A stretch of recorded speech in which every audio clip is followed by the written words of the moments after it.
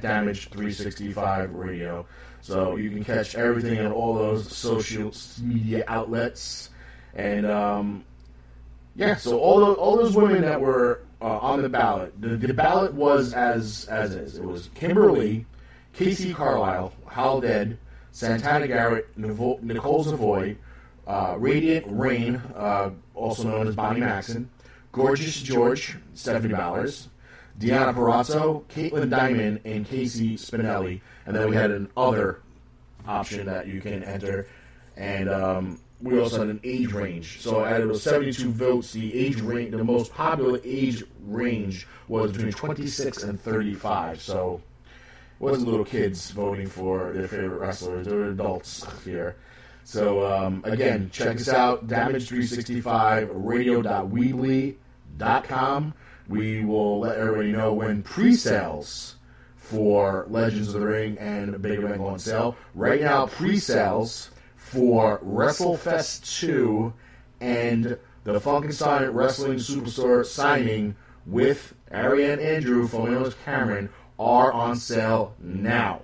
If you pick them up, you will save five dollars on each signing. Twenty dollars for a signature, twenty dollars for a photo op, thirty-five for the combo at both shows. At both shows, if you get the pre-sale. If you don't get the pre-sales and you show up at the show, it will be 25 25 and 45 and uh, $20 for each additional item. Uh, any championship belts is also $20 and uh, you can bring and you can bring your own items, total divas items. You can bring figures. Um, Cameron is in a figure uh, a figure with uh, Naomi in the uh, Funkadactyls twin pack. There are plenty of WWE cards out there with Cameron on it, and uh, you can you can bring those. We'll only charge fifteen dollars for signed cards. We will also have signed cards on the spot that will be on sale for fifteen dollars as well. Uh, remember, pre-sales save yourself five bucks each, or save yourself ten dollars for the combo. So again, Damage three sixty five Radio dot Weebly.com.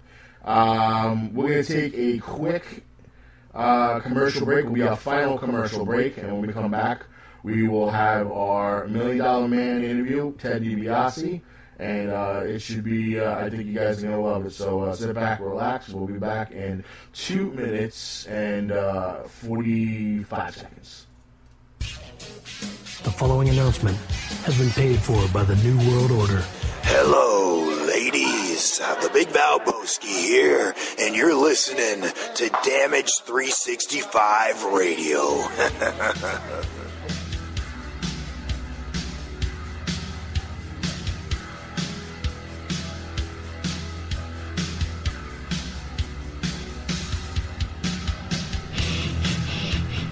Wrestling Superstore, selling wrestling memorabilia from all around the world, including WWE, TNA, Japan, Mexico, and the very best of the independents. They've got action figures, DVDs, autographed memorabilia, t shirts, and more.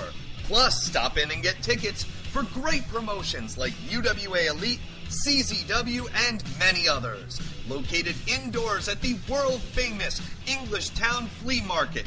Green Building, booth number 35 on 90 Wilson Avenue, Manalapan Township, New Jersey. Open every Saturday and Sunday, 8 a.m. to 4 p.m. Log on to facebook.com slash Funkenstein Inc. for more information.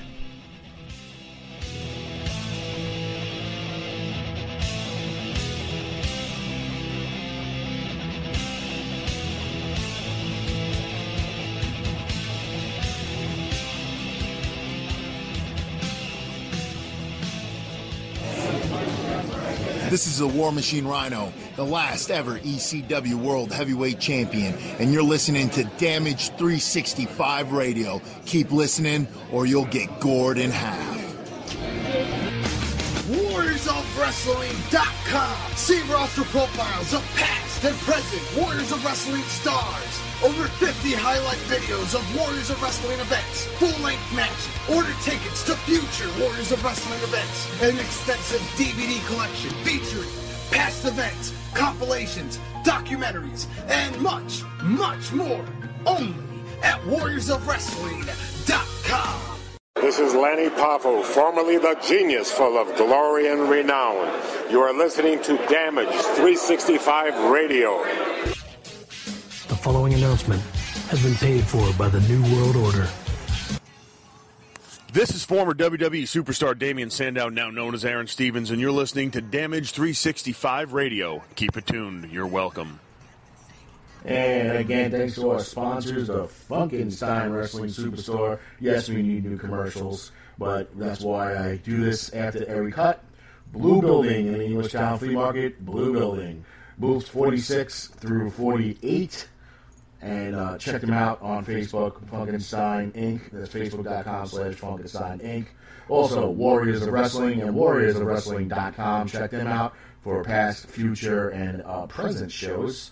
As uh, with last show, we just had Damien Sandow, as you just heard that uh, audio cut and promo from uh, the Savior of the Masses and new wrestler at TNA. That's right. TNA got one of the good ones. He's, an awesome guy. Don't don't even uh, not even kidding. But uh, without further ado, let's get into our interview with WWE Hall of Famer, the Million Dollar Man, Ted DiBiase, the ultimate heel of the WWE and WCW and the NWA for years and years. Uh, now turned minister. He is an awesome guy, great stories, great person to talk to, and he will be on tour with Damage 365 Radio come November 15th and 16th. Uh, sorry, November 19th and 20th. That will be uh, Saturday evening at Warriors of Wrestling, and the next day on the 20th at Pro Wrestlers World, Bud Carson's Pro Wrestlers World at the Merchant Square uh, Mall in Allentown, PA. And uh, he'll be doing signings both those days. So if you want to check out Hall of Famer and get an autograph, Ted DiBiase, that's the, the day to do it. So um, without further ado, uh, let's do this interview. It's 38 minutes and 35 seconds. Uh, and then when we come back from them, I'll have just a few words regarding uh, the Million Dollar Man, and um, then we'll close out the show. So uh, we'll be back in about 38 and change, and I hope you enjoy this interview. Thanks to uh, everybody. I did all my thank yous during uh, right after the interview, but um, thanks to everybody involved for making this happen. Uh, it's it's not easy getting superstars uh, especially the very popular ones on the radio show. They do so many, and they get kind of tired of talking about the same stuff over and over again. So we appreciate when they're able to give us their time, especially 40 minutes worth. So here you are, Hall of Famer, WWE, one of the best of all time, the Million Dollar Man, Ted DiBiase. And ladies and gentlemen, at this time, we'd like to welcome in our guest of the day. He is a WWE Hall of Famer and uh, some will say uh, a former WWE champion, maybe not that long, but uh, he did have the belt around his shoulder briefly and around his waist at a couple of live events before Jack Tunney stole it from him. He is the Million Dollar Man, Ted DiBiase. Welcome to the show. Great to be with you, man. Great to be with you. So let me let me ask you real quick before we get into the beginning, uh, since I opened with that uh, Jack Tunney taking the title from you. Um, I mean, WWE never officially gave you a chance to uh, to run with the title, to have a title run. Uh, some will say that you didn't need it because you were the ult- the ultimate heel, and the best thing that you ever did was created the million dollar title because it uh, it, it kind of just was a slap in the face to all the title holders in WWE that you know you were the ultimate heel, you had your own title. Like, but did you did you really? I mean, was it something that you really kind of wanted to have the WWE title at least once? Well, you know, regardless of, uh, of who you are, I think you know you you you know you want to aspire. I mean, uh, before WWE, you know, uh, you know, my ambition was to be the NWA uh, World Heavyweight Champion, which Right. at the time in the regional days of wrestling was probably the most recognized nationally. You know, uh, Verne Gagne had his own. He called himself the world champion, but it was just for the AWA. Right. And uh, but, but but the bottom line is, you know, it's wrestling is a business and it's sports entertainment, and you know, titles are are, are they're props, and uh, obviously though, you know, your your top guys are going to be the guys that have the title, and um, you know, you aspire to that. But where I was concerned in the WWE. Um, and initially, the thought was that I would somehow, you know, buy my way, pay somebody off, do something at WrestleMania four, and be that guy Right. to have the title for a while and run with Hogan. But uh, you know, it was Pat Patterson who asked me the question. He said, "Ted, what's going to put more heat on you if we do what we normally do and possibly what the people expect, or you don't win the tournament and and out of you know out of your anger and whatever and your in your personality you go you know what? Basically you know uh, I don't need you. I'll create my own title. And just and and, and I said you know and, and again uh, how arrogant can you be? So every night I walked to the ring with my own personally made belt declaring myself the champion. And like you know everybody I mean and as soon as he said it I said that's what we do because that's going to make everybody hate my guts. I mean, every night, you know, and and um, and it was. I mean, uh, you know, would I have liked to have that run? Yeah, but I mean, in reality, it, it's you know, where business is concerned, you know, I didn't need it. Yeah, I, I, I agree. I, I agree with you there. I mean, you, were just such the, the, the ultimate heel. It didn't, it didn't matter what you did; people uh, were going to hate you for it. Uh, especially your, your promos where you'd have the little kids come out and dribble the basketball and then kick it away from them at the last second, so you didn't have to give them any money. and of course, you know, I, of all the things I did, that, I'm glad you brought that up because I even had to answer that on Twitter. It was like a lot of people were like, you know, what, you know, what a, you know, what a bum, what a, you know, worse words, you know. And I go, look, I said, I, I can't believe that I even have to explain this. Yeah, well, we are sports entertainment. The kid got the money.